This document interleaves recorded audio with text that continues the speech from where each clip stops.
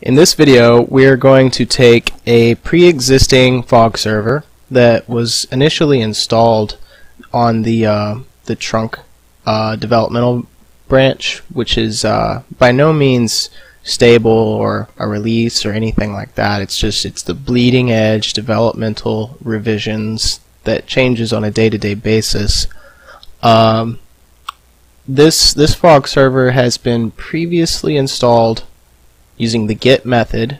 Right now we're uh, we're looking at the upgrade to trunk wiki article at wiki.fogproject.org and we're going to be focusing on the the git method right here. And we've already done this right here. We are already we already have a fog server. We already have a repo. And we're going to update to the latest. That involves knowing where your repo is. How do we know where it is. Say we don't know anything about this fog server, say we didn't even set it up ourselves. Well, we could do a simple search command to figure out where it is.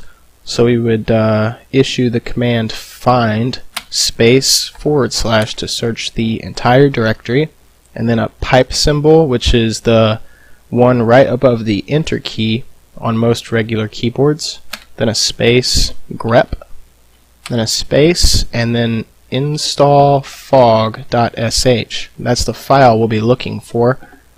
There should be only one copy of this file on your fog server, and it'll tell you where your Git repository is located locally on your fog server. We'll just uh, we'll run this command, and we already have a result, and uh, the command finished.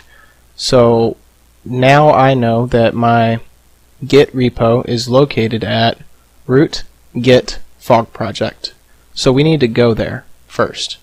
Let's ignore this the rest of this for now. We just need this is what's important. The fog project getting to the fog project directory. To get there, we'll change directory with cd and we'll uh, go to uh, root git fog project. And now we're, we're where we need to be. If we issue pwd for a present working directory, we'll see that we're inside of root git fog project.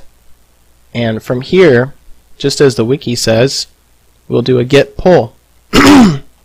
so it'll be git space pull. That easy. And hit enter. And this will uh, this will sync everything down to your fog server. Alright, so we've got a lot of uh, files that have changed, and uh, now we're synced up. We're at the latest. So now we need to go into the bin directory, as the wiki says. If we look around with the ls command, we'll see the bin directory right here. We'll go into there with cd bin. If we look around in here with the ls command, we'll see the uh, primary installer script. It's a uh, shell script. And to run that, you need to be either root or sudo. I'm already root, so all I have to do to run an executable as root is period forward slash install fog.sh. And if I hit enter, the installer will start. Now, if uh, you're not root, you can and you're using Fedora or CentOS 7 or Red Hat Enterprise Linux, you can just uh, do a uh, su root to get to root. If you're on Ubuntu or Debian, it would be uh, sudo su. Or if you don't want to switch to root, you can just uh, use the uh, sudo commands to run the installer as sudo for uh, just that one particular command. You can run as sudo like this, uh, sudo period forward slash install fog.sh. But I wouldn't recommend this. I would say go ahead and become root or become super user. Uh, and I think that this uh, it works out better in most in most cases when you just go ahead and switch to to the root user.